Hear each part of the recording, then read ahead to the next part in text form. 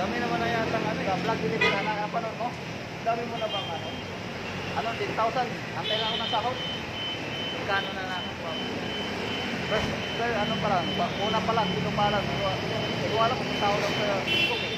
Nasahod kasi sa YouTube. Sa YouTube, bago pa lang ako sa YouTube. Sa Facebook, matagal na ako. 10, 10k followers na ako. Ayos. Kaya si Idol. Wapo. Sige,